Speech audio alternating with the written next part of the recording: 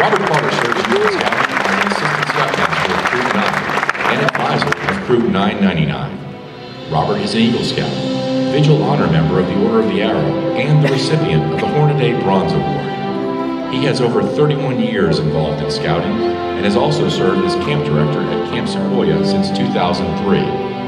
Robert also works with Cub Scout events and activities at Camp Sequoia, such as Cub Scout fishing derbies Cub Haunted Weekends, and is also very active in the Order of the Arrow. He holds a bachelor's and master's degree from Clemson University and a doctorate from Auburn University. He's an associate professor in biology at Jacksonville State University and a member of St. Luke's Episcopal Church.